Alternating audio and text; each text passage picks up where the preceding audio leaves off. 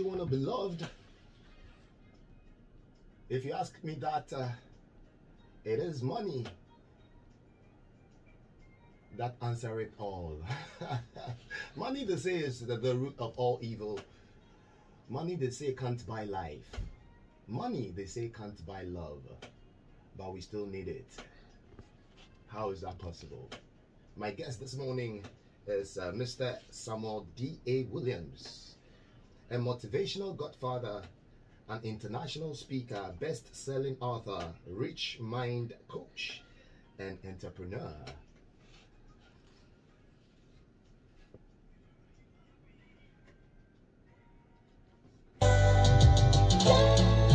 Don't you wanna live? Don't you wanna live? wish I wouldn't taste hell. oh man. 95.7 megahertz. It is the mid morning affair. Tell a friend to tell another friend. 11:26 is the time, and uh, I'm happy to have in the studio with me Samuel D. A. Williams. As I said earlier, he is an international speaker, a motivational godfather. That's what he calls himself, a motivational godfather. I'm going to ask him why he calls himself that, anyways. He is also a best selling author, a rich mind coach, and an entrepreneur. Welcome into the studio. Oh, thank you, thank you. Nice. So, how Thank was you. your weekend? uh, Oh, Mr. beautiful, Williams. beautiful, beautiful, beautiful. So tell me, I was asking this question earlier. I was like, um, if money can't buy life, money can't buy love, and uh, money is uh, the root of all evil, why then do we keep hustling for money? Uh, thank you so much, and uh, for our listeners, uh, I'm SDA Williams, as he said. Um, let me answer your question with this. I always says, for the lack of money is the root of all evil. For the lack of money, It is the other way around. Yeah, it's not for the love; it's the lack of it. For the lack of money. Money is the root of all evil. Okay. Look at uh, places like our ghettos and all those stuff, the poor places. That's where most of the evil happens. Okay. Look at where our rich places, it doesn't happen often. So it's for the lack of money is the root of all evil. Okay. Mm. The lack of money Is the root is of the all, root of all evil. evil. Wow. I'm, I'm, I'm, I'm, I'm seriously. This is my first time hearing this. Yeah, I don't, I don't, I don't probably you. Because what we know is the love of Nah, money it- is the root of all evil. Yeah, You get me? for for like through my studies, I realized that is the lack of money. It's not for the love of money. It's the lack of money. It's the root of all evil. And um, as you said, money cannot buy you happiness. Money cannot buy you life. yes. Uh, money can buy you life. Uh, yeah. How does that happen? Oh my! If you go Because there to are so many people, big, small, huge, who who uh, have gotten to that point of life uh, that uh, money couldn't save them. oh, money will give you some time compared to somebody who doesn't have it. It at all. Yeah. Okay. Because let's take it.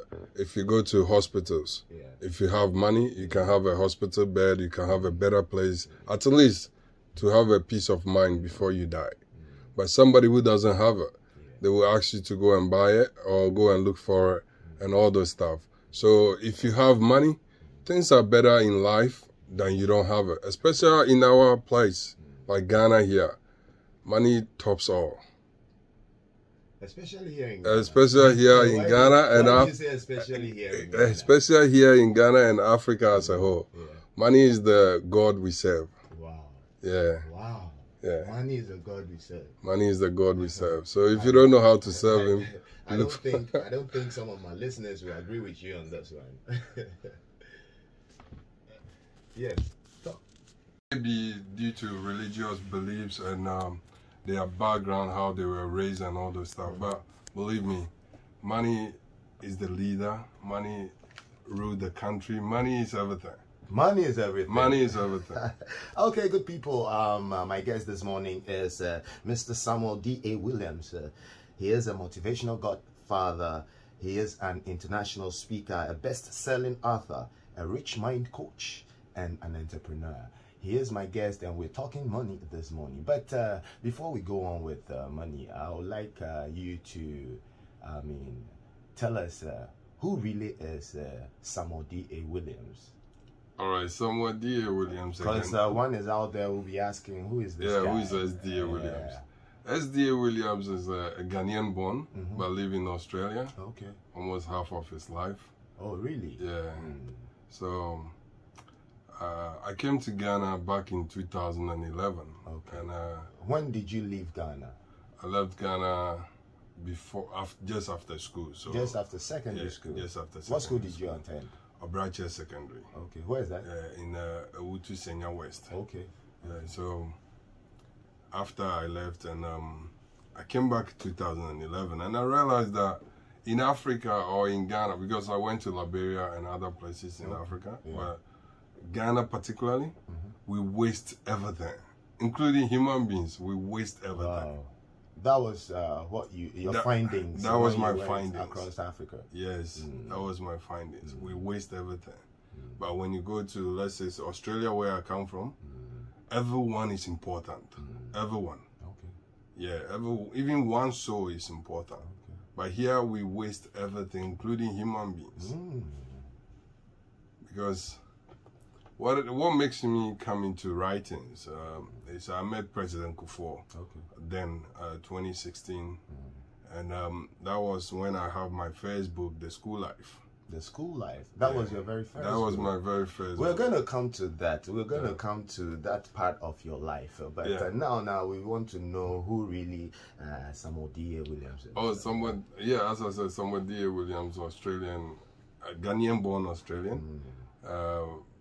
I live, my mother Ghanaian, my father Ghanaian. Okay. So my mother from Awutu Bawjiase and uh, my father is from uh, Elmina. Okay. So I was born in Takoradi. Oh, okay. Yeah, so that fancy mix. Mm. Yeah. So you just had to relocate uh, to Australia because of uh, your parents. Yeah, yeah, Is that yeah. what you're Because, saying? because my mom was there and um, life wasn't easy. Okay, so let's get there. Um, tell me, tell me, just summarize a life in Australia for me. How many years were you in Australia? Oh, about almost 15 years. now. Okay, so Yeah. summarize it for me. How was life uh, with you comparing Ghana and Australia? How is how was life uh, fare with you in Australia? Oh, if we talk about Australia comparing to Ghana, Mm-hmm. there's nothing, nothing compared to Ghana and Australia. Really? Nothing. Really? Yeah. Wow. From the first day you are born Yeah. to the di- the day, The you, day you die, die. there's nothing you can compare to Ghana Why do you say so? because they have everything is unique, like UniiQ FM. I like that. yeah. So Ghana is uh, on its own. Mhm. Well, let's say it's, um, if I'm not missing my words, I would say Ghana is like uh, 1945 and Australia is in 2023 Mm. or 2021. Whoa. So vast difference, Vast vast difference. difference. Yeah. Um, the reason why w- some of us we went to Australia is when life wasn't easy here. Mm. So that's where my mom thought would be the best, Best place to. to start, and it was it's a good idea. It was a good idea, yo. Yeah, Yeah, very good decision your parents Very took. good, and uh, I'm always grateful for that. Okay. Like very grateful. Mm. Yeah. I see. All right, so let's come back to Ghana. Ghana, I love Coming- Ghana. Yes, coming Ghana. back to Ghana, what are some of the things that you saw that inspired you to start writing your books? All right. When, when I was in Australia, there, there was a point in my life uh, I asked myself, like, what would be the best ideal uh, to make Africans start thinking rich, start thinking that life is not about somebody, like you know, pulling you down, but you yourself. And um, then the inspiration start coming. Then I wrote my first book, The School Life. And when I came to Ghana, I was really accepted by President Kufuor, President Nana Addo, President, uh, uh, Vice President Bawumia. They, they, they were the people who inspired me more, Okay. especially President Kufuor, who is my godfather. But how did you get uh, in contact with them? uh, through somebody who knows somebody Okay. and somebody. So yeah. whom you know? okay. Yeah. All right. Uh, Yeah, so they inspire me a lot. Then, for through my own research as well, I realized that we're not into reading, okay. but the best things are in the books. Mm. Yeah, the best things are in the books because some some of the books that I read before writing my own books has really transformed my life. Mm. And I think we we the youth, if we want the best nation, we want the best things to be happening, we need to go back to the books. Mm. Yeah. I see. We need to go back to the books. We need to go back to the books. What What is the life of a motivational speaker like?